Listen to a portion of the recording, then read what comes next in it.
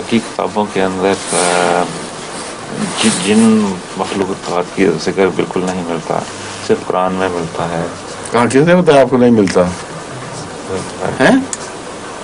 आप तो माशाल्लाह निगाह रखते हैं बाइबल पे भी और उस पे इंजील पर।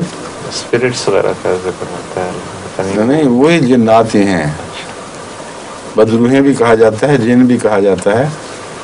दरअसल एक ही किस्म, एक ही मखलूक की नौीयत है, जिसके मुख्तलिफ़ नाम हैं।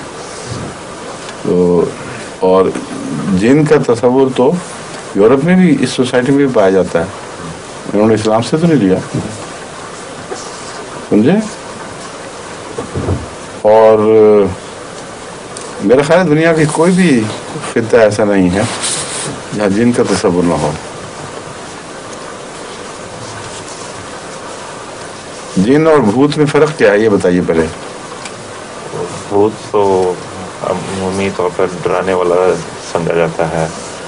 नहीं जिन को डरा देते हैं तो। भूत आमतौर पर रूह के रूह को कहते हैं जो इंसानी रूह हो और फिर वो इसी दुनिया में भटकती फिरे और कभी कभी लोगों पर ज़ाहिर हो उनको डराने के लिए अक्सर या कभी कोई दोस्ती के तौर पर भी कई दफ़ा किस्सों में आता है कि भूत दोस्त बन गए। लेकिन भूत सब के सब मरे हुए इंसानों की रूहें हैं। और जिन वैसी ही मखलूक है, लेकिन अपनी ज़ात में अलग है।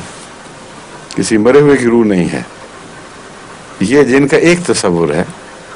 और कुरान करीम ने जिन के जितने भी लगत के लिहाज से पहलू मुमकिन हैं, उन, गालबन उन सब के मतलब जहाँ तक मेरी नज़र पड़ती है, जिन के लफ्ज़ को इस्तेमाल कर लिया है।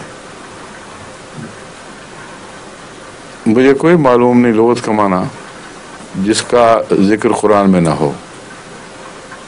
यानी इस पहलू से लोग देख कर एक एक करके तो मैंने तलाश नहीं किया, लेकिन बसरी तौर पर मुझे, मैं नज़र दौड़ा कर ये कह सकता हूँ कि लोगत के जितने मानी हैं जिन के ताल्लुक़ में, वो तमाम किसी न किसी मौके पर कुरान करीम ने जिन के हवाले से बयान फरमा दिए हैं। अब अगर एक माना ऐसी मखलूक का है जो नज़र नहीं आती और कुछ इंसान के साथ कहीं कहीं झलकियों के ज़रिए रबता कर लेती है तो कुरान करीम में वो किस जगह ज़िक्र है इस मखसूस मखलूक का, ये मैं नहीं जानता। लेकिन अगर कोई ऐसी मखलूक है और जिन के लफ्ज़ में कुरान ने अमूमी ज़िक्र में इस मखलूक को शामिल फरमा लिया है तो कोई मुजायका नहीं, हो बेशक। समझे हैं?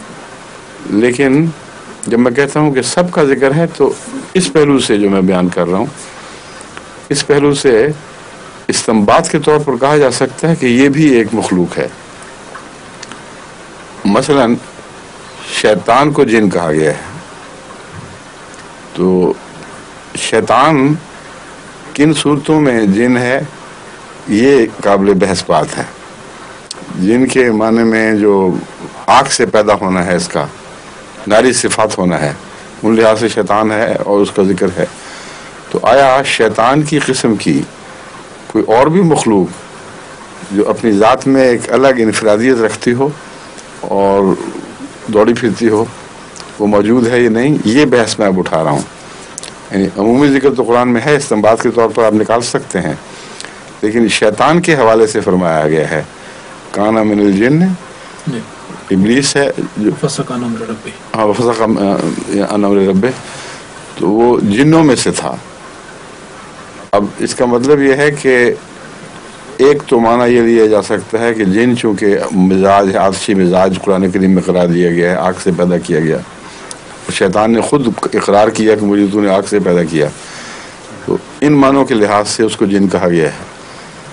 और इस्तम्बात के तौर पर जैसा कि मैंने बयान किया था, ये भी कहा जा सकता है कि शैतान अगर एक गैर मरी मखलूक जो अपने आप को कभी तमसल के तौर पर ज़ाहिर कर देती है और वाक़ता कोई बेलरादा शरारत फैलाने वाली रूह है तो उससे मिलती जुलती और रूहें हों तो हमें क्या एतराज़ है? अगर उसको तस्लीम कर लिया एक आज़ाद रू तो फिर एक और आज़ाद रू भी हो सकती है। समझ गए?